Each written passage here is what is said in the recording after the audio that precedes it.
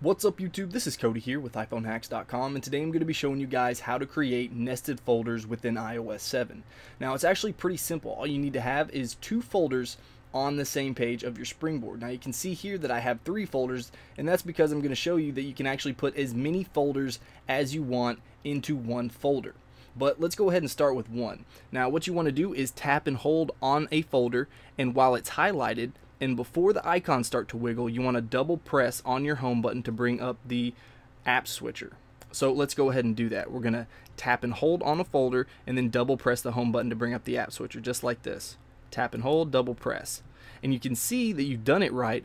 If the icons are wiggling and you have the folder that you tap and held down on is big and highlighted.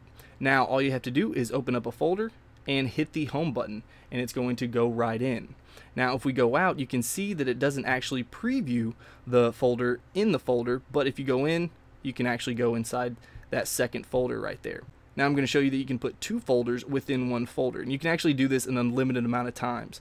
So let's go ahead and do that. Again we're going to tap and hold double press just like that and we can see that we did it right because it's highlighted and it's big just like that. So we're going to just hit the home button and it goes right in. Now you can actually put this folder inside of this folder.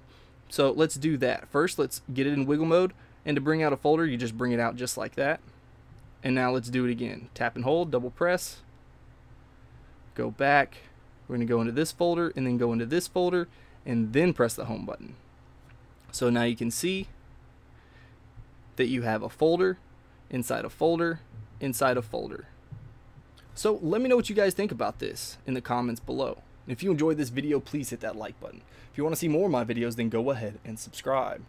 Alright guys, until next time, this is Cody with iPhoneHacks.com.